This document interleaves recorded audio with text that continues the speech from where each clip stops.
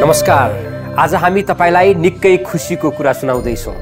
काली गण्डकी नदीको एकल जलाधारमा समेटिएको तिब्बती पठारको एउटा भाग। तेथिस सागरका जीवावेश जसलाई अहिले शालिग्राम भनिन्छ त्यस्तो वस्तु पाइने ठाउँ। बालुवाको खातै खात जस्तो देखिने अनौठो ठाउँ केही रहस्यमय ठाउँ धार्मिक ऐतिहासिक र पुरातात्विक हिसाबले अनुपम ठाउँ हो। त्यही ठाउँ मुस्ताङ।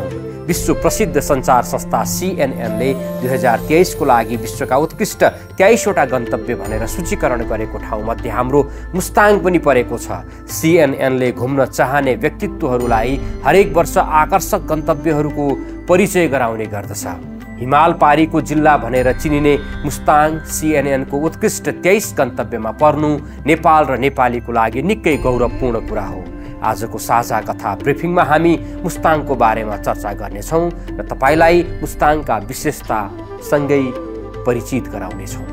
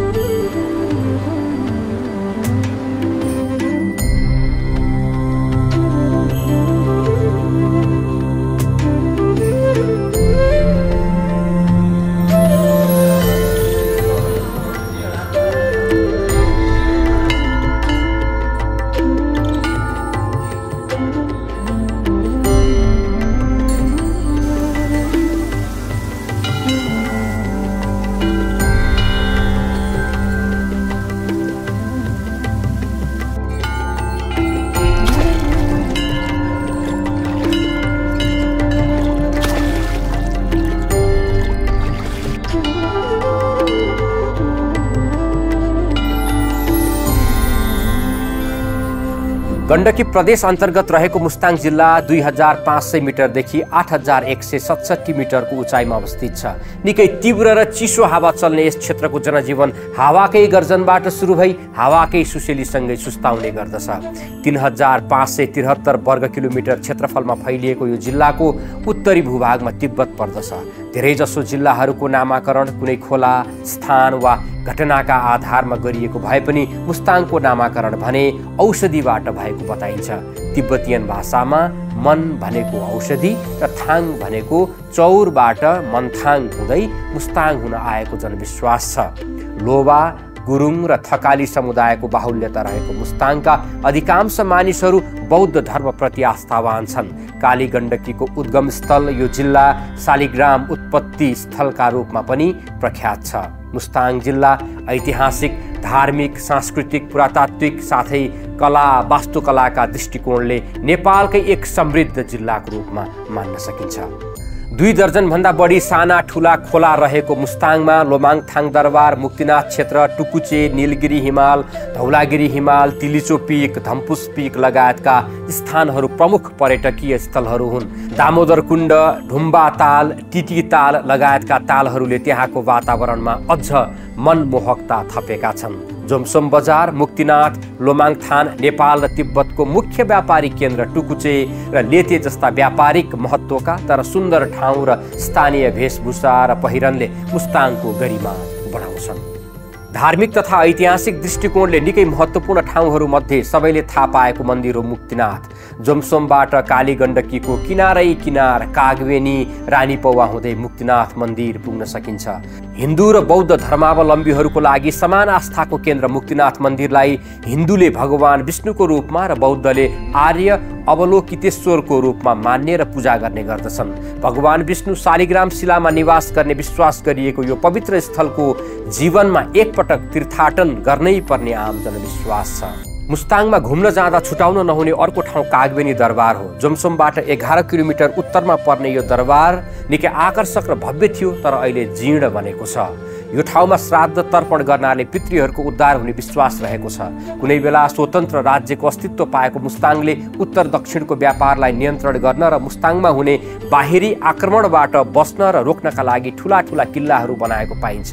ती किल्लाहरूमध्ये घराबजोङ पनि एक हो। मुस्ताङमा रहेका आकर्षक केन्द्रहरूमध्ये लोमाङथाङ बस्ती र दरबार छुटाउन नहुने क्षेत्र हुन्।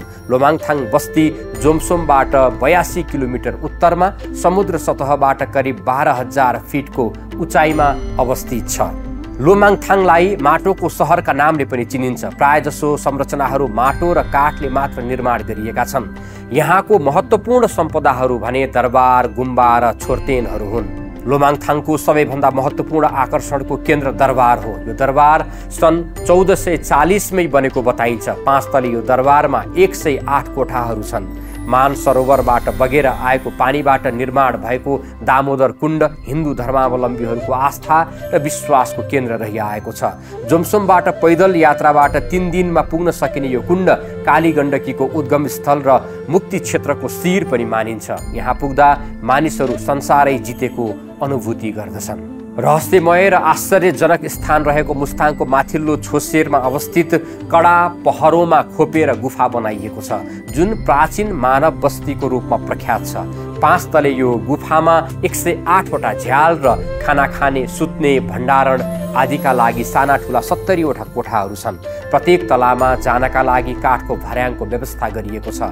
यस्ता गुफा कसले कहिले र किन बनाए अहिले पनि रहस्यको गर्वमै छ। करिब तिन हजार वर्ष पुराना बस्ती र गुफा रहेको मुस्ताङको उपल्लो भागमा भने विदेशीहरूलाई निषेध गरिएको छ। जुम्लाको खस राज्यले शासन गरेको मुस्ताङमा केही समय तिब्बतले पनि शासन गरेको थियो। विक्रम सम्बत चौध सय सन्तानब्बेमा आमपालले मुस्ताङलाई स्वतन्त्र राज्य बनाएर लोमाङथाङको चारैतर्फ पर्खाल बनाएर लगाएका थिए। पर्खालका अवशेष अहिले पनि भेट्न सकिन्छ। विक्रम सम्बत अठार सय छ्यालिससम्म मुस्ताङ छुट्टै राज्यको रूपमा रहेको थियो। नेपालमा गाभिए पनि रजौटाहरूको मान्यता प्राप्त मुस्ताङमा राजा मान्ने प्रचलन गणतन्त्र आइसकेपछि पनि थियो। दुई हजार चौहत्तरसम्म मुस्ताङीहरूले जिम्मी पर्वल विष्टलाई राजा मान्थे भने सांस्कृतिक राजा अहिले पनि अस्तित्वमा छन्। यस्तो ठाउँ घुम्न पाउँदा जो पनि सौभाग्यशाली महसुस गर्छ। कम्तीमा पनि सात दिनको छुट्टी र दैनिक दुई हजारको दरले बजेट छुट्याउनु भयो भने तपाईँ पनि मुस्ताङ घुमेर फर्कन सक्नुहुन्छ। सिएनएनले समेत परिचित गराएको मुस्ताङ राज्यका लागि गतिलो आर्थिक स्रोतको केन्द्र बन्न सक्छ। सिएनएनको रोजाइ र सिफारिसमा परेको मुस्ताङ अहिलेकै अवस्थामा पर्यटकहरू कसरी पुग्लान्? उनीहरूलाई मुस्ताङमा कति दिन राख्न सकिएला? मुस्ताङका के के कुरा देखाउन सकिएला? उनीहरूलाई प्रदान हुने सेवा सुविधा र सत्कारका लागि के त्यहाँका स्थानीय तह सङ्घ संस्था निजी क्षेत्र तयार छ?